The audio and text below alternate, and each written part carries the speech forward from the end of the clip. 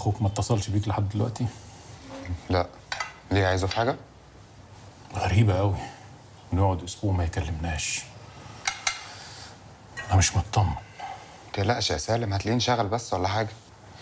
لا أنا مش مطمن بصراحة. تسلم إيدك. تسلم إيدك.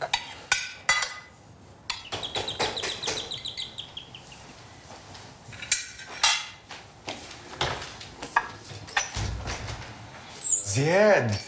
سحس. دل على السلامة. الله يسلمك.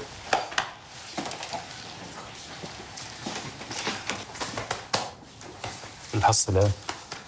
طب كنت قول لنا إنك جاي عشان كنا نروح نجيبك من المطار. الله. فين ريهام مراتك؟